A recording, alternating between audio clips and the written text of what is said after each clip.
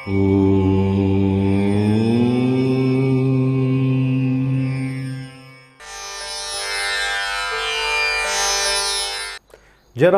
விநாசாய தேக சுத்திகராய் ஜ திகம்பர தயாமூர்த்தே தத்தாத்திரேய நமோஸ்துதே. அன்பான யூடியூப் நேயர்களுக்கு என்னுடைய அன்பு கலந்த பணிவான வணக்கத்தை தெரிவித்துக்கொள்கிறேன் செப்டம்பர் மாதத்தினுடைய சிறப்பான பலாபலன்களை நாம் பார்த்து வருகிறோம்.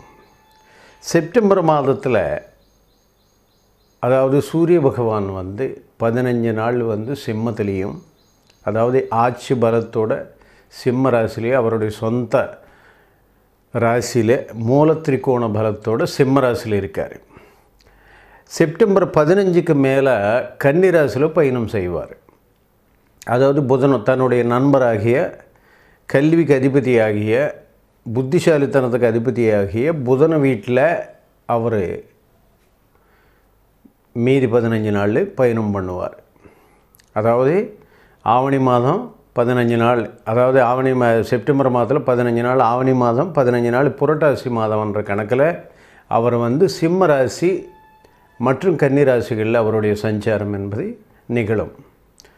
அதுக்கப்புறம் செவ்வாய் பகவான் வந்து செப்டம்பர் அஞ்சாம் தேதி வரை சிம்மராசியில் இருந்துட்டு அதுக்கப்புறம் கன்னிராசிக்கு அவர் மாறுகிறார்.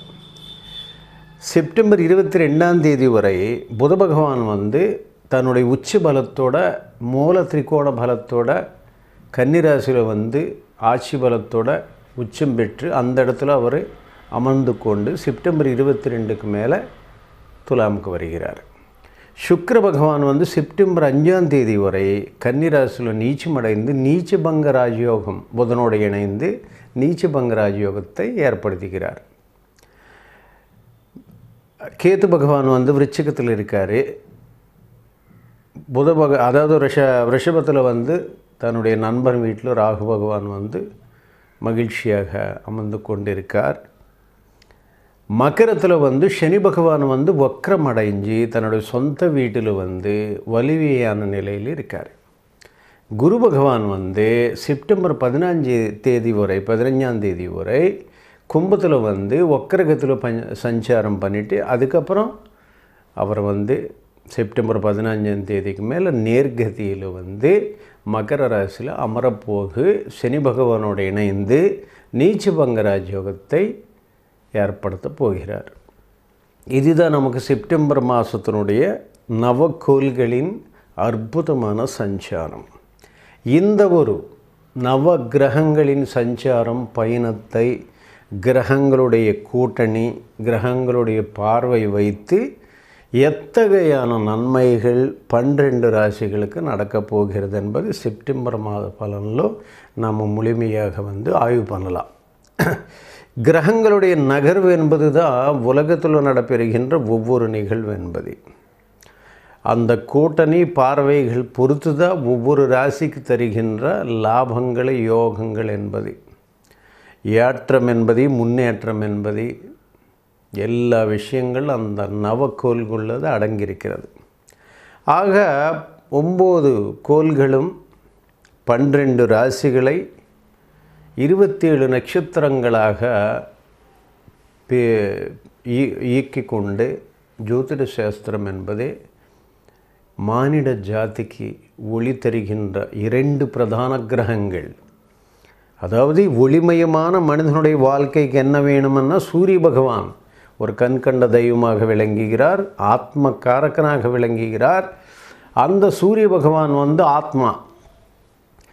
மற்றொரு ஒளிக்கிரகமாக திகழக்கூடிய சந்திர பகவான் வந்து மனசு உடல்.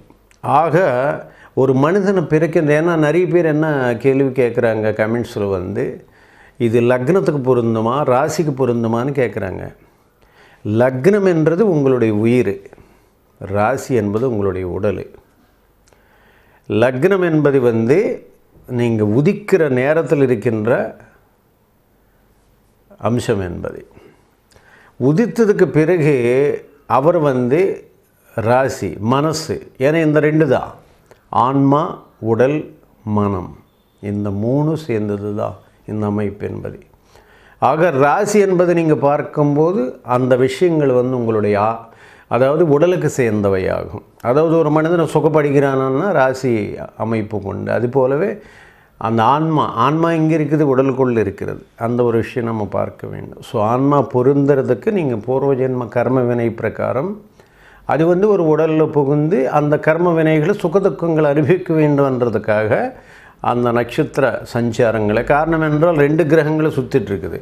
அதுக்கு தான் நமக்கு வெஸ்டர்ன் ஆஸ்ட்ராலஜி அண்டு வேதிக் ஆஸ்ட்ராலஜிக்கு இருக்கின்ற ஒரு மிகப்பெரிய டிஃப்ரென்ஸு ஏன்னா அவங்க வந்து மாதத்தில் ஒரு கணக்கு வச்சு சூரியனு அந்த மாதம் பயணம் பண்ணுறத வச்சு பலாபலன் பார்ப்பார். ஆனால் நமக்கு அப்படி கிடையாது. லக்னம் என்பது சூரியன் அடிப்படையாக கொண்டு நம்ம கணிக்கக்கூடியது. ராசி என்பது வந்து நீங்கள் பிறக்கின்ற நேரத்துக்கு சந்திர பகவான் வந்து எந்த ராசியில் வந்து பயணம் செய்கிறார்ன்றதை பொறுத்து உங்களுக்கு ராசி என்பது நிர்ணயம் படுகின்றது இதுதான் அதனுடைய அம்சம். அதனால தான் நீங்கள் லக்னத்துக்கும் ராசிக்கு சேர்ந்து தான் பலன் எடுக்க வேண்டும். ஏன்னா ரெண்டுக்கும் சேர்ந்து தான் ஏன்னா சூரியன் சந்திரன் ரெண்டு ஒளி கிரகங்கள். உங்களுடைய வாழ்க்கையில் ஒரு அற்புதமான ஒரு பிரகாசமான ஒரு எதிர்காலம் நாம் தெரிந்து கொள்ள வேண்டும் என்றால் ஒவ்வொரு கிரகம் என்னென்ன நட்சத்திர விகிதச்சாரத்தில் உட்காந்துருக்கிறது என்னென்ன நட்சத்திரத்தில் உட்காந்துருக்கிறது ஏன்னா எதிரிடை நட்சத்திரத்தில் அமரும் போது நல்ல பலன் கொடுக்காது. ஒரு எக்ஸாம்பிளுக்கு போய் சந்திர பகவான் இருக்கார். சனி பகவான் பகை கிரகம். சந்திர பகவானை போய் சனி பகவான் நட்சத்திரத்தில் உட்காந்துருக்கிறாருன்னு வச்சுங்க ஒரு போஷத்தில் உட்காந்துருக்கிறாரு நன்மை செய்ய மாட்டான் இந்த மாதிரி நிறைய விஷயம் நன்மை செய்ய மாட்டார்னா அதை பொறுத்து அந்த ராசிகள் அந்த வீடுகளை பொறுத்து அந்த நண்பர் என்ற முறையில் நமக்கு வந்து நன்மை செய்யக்கூடிய ஒரு நிலை என்பதை ஏற்படுது. ஓகே ரைட் இப்போ நமக்கு வந்து செப்டம்பர் மாதத்தினுடைய முழுமையான அற்புதமான ஃபலாஃபலன்கள் எவ்வாறு இருக்க போகின்றது அப்படின்றதை நாம் பார்ப்போம். தன்னம்பிக்கை விட முயற்சி தலைமை பண்பு சிறப்பான குணங்களாக கொண்ட சிம்மராசி அன்பர்களே சிம்மாசனத்தில் அமரக்கூடிய ஒரு அற்புதமான காலம் செப்டம்பர் மாதம். செப்டம்பர் மாதத்தில் உங்களுடைய ராசிநாதனாகிய சூரிய பகவான் பதினஞ்சு நாட்டுகள் என கிட்டத்தட்ட ஆவணி மாதம் முழுமையாக இருந்தார். பதினஞ்சு நாட்டுகளை வந்து அவர் பலமான வலிமையான நிக்க நிலையில் ராசிலே அமர்ந்தபடியே மூலத்திரிகோணமாக ஆட்சி பலத்தோடு உட்கார்ந்துண்டு அசுர வளர்ச்சி கொடுத்திருக்கிறார் கொடுத்து கொண்டே இருக்கிறார். அது மட்டும் இல்லாமல் ராசியில் வந்து செவ்வாய் இருக்கிறது. செவ்வாய் வந்து பூமிக்காரக்குன்னு லக்னத்துக்கு ராசிக்கு யோகக்காரக்குன்னு ஸோ சூரியன் செவ்வாயோட இணையம் என்பது முத்ராதிகாரம். எங்கே சென்றாலும் சென்ற இடமெல்லாம் சிறப்பு தரக்கூடியதாக இருக்கும். ம உயர்ந்த அந்தஸ்து சமுதாயத்தில் ஒரு மரி மதிப்பு மரியாதை ஒரு செல்வ வளம் கொடுக்கக்கூடிய ஒரு அற்புதமான வளமாக அது ஒரு பேரும் புகழும் தரக்கூடிய இடமாக சிம்மராசிக்கு வந்து சூரியன் செவ்வாய் இணைவு என்பது மிகுந்த யோகத்தை தரக்கூடியதாக அமர்ந்திருக்கிறது அதுக்கப்புறம் தனாதிபதி ஆகிய புத பகவான் வந்து உச்சம். சூரியன் ஆட்சி பலம் ரெண்டாவது ஸ்தானத்தில் புதன் வந்து உச்ச பலம். தனாதிபதி தன குடும்ப ஸ்தானாதிபதி உச்சம். ஸோ பணம் ஏராளமான பண வசதி தேடி வரும். குடும்பஸ்தானத்தில் மகிழ்ச்சி உண்டாகும்.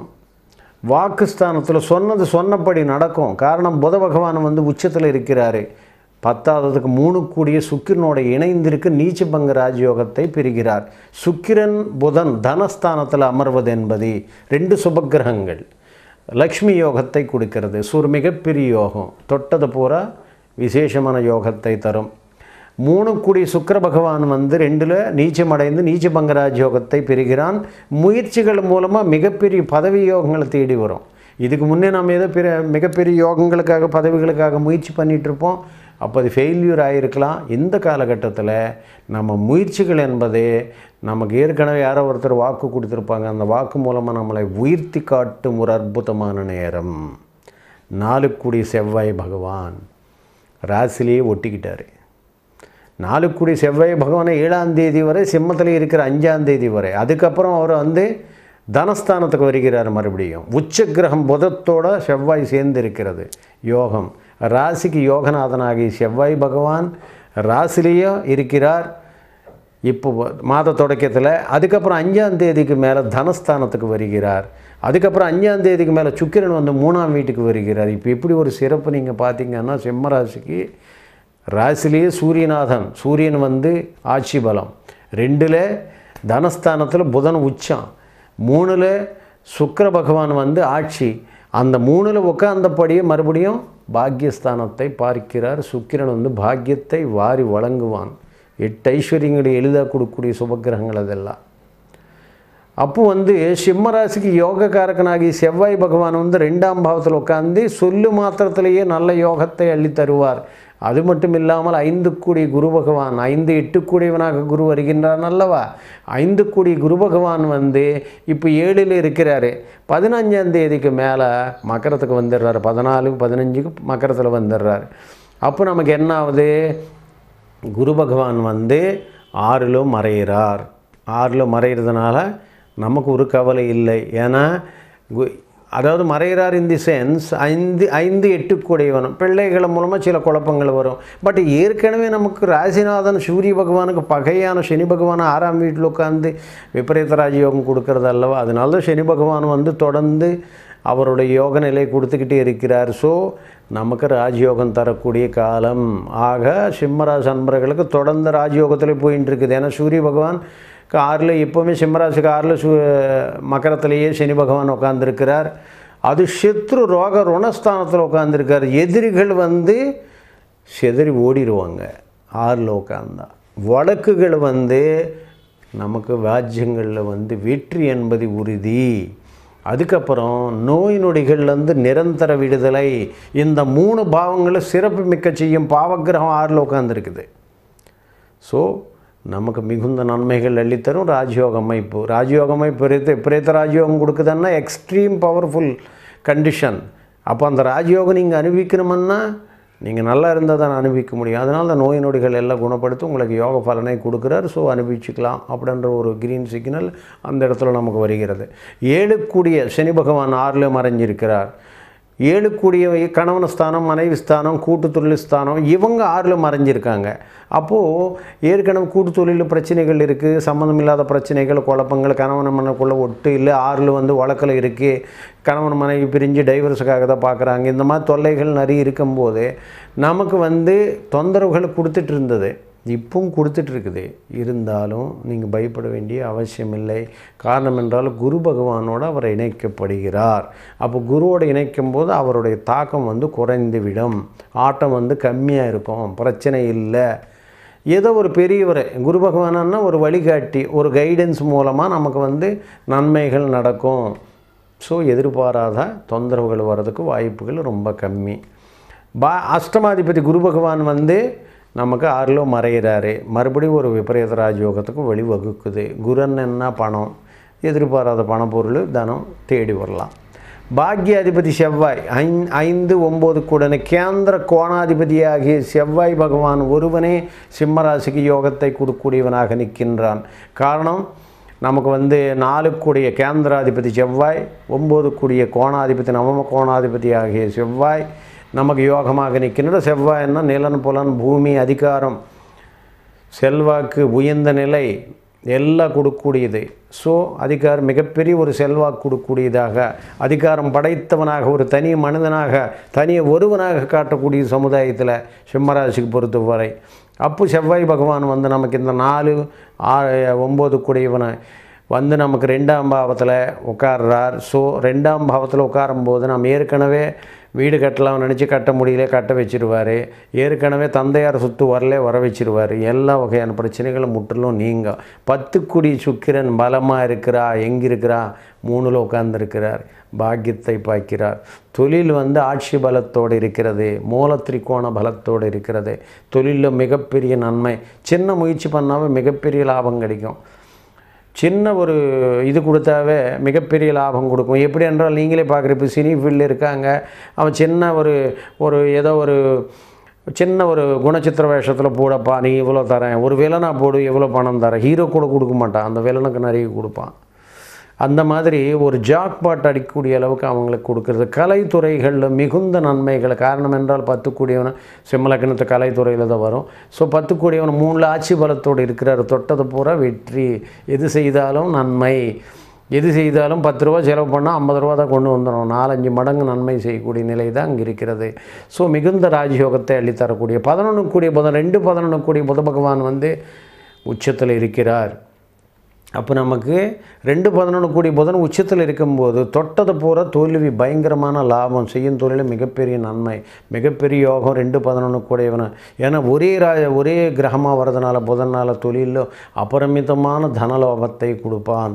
ரெண்டு பதினொன்று கூடையவன். பன்னெண்டு கூடி சந்திரன் வந்து பதினொன்று லாபத்தில் இருக்குது விரயங்களை மூலமாக லாபங்களை குவிக்கக்கூடிய அளவுக்கு நமக்கு யோகத்தை எழுதி தருகிறது. ஆக மொத்தத்தில் சிம்மராசி அன்பர்களுக்கு சிம்மாசத்திரில் அமர வைத்து யோகங்கள் எல்லாம் கொடுத்து தனாதிபதியாகிய புதன் உச்சநிலை பெற்று அப்புறம் மு வெற்றி ஸ்தானாதிபதி வெற்றி ஸ்தானத்தில் அமர்ந்து கொண்டு பாக்கியத்தை நோக்கி பாக்கியத்தை நமக்கு மிகுந்த பாக்கியங்களை அள்ளித்தந்து யோகாதிபதியாகிய செவ்வாய் பகவான் வலிமையான நிலை பெற்று நமக்கு விசேஷமான ராஜயோகத்தை அள்ளி தருகிறது ஆறாம் பாவத்தில் சனி பகவான் அமர்ந்து கொண்டு விபரீத ராஜயோகத்தில் செயல்பட்டு மிகப்பெரிய நன்மைகள் அளித்தர் ஆக சிம்மராசி அன்பர்களுக்கு ஒரு தனி காட்டில் மலையனே சொல்லலாம். அவங்க எடுத்த காரியங்களில் மிகப்பெரிய வெற்றி. சமுதாயத்தில் ஒரு உயர்ந்த அந்தஸ்து நல்ல செல்வாக்கு பேரும் புகழும் பொன்னும் பொருளும் சேர்த்து சகல நன்மைகள் தனி ஒருவனாக காட்டக்கூடிய ஒரு அற்புதமான மாதமாக செப்டம்பர் மாதம் அமையப் போகிறது. சர்வே ஜனாசுக்கினும்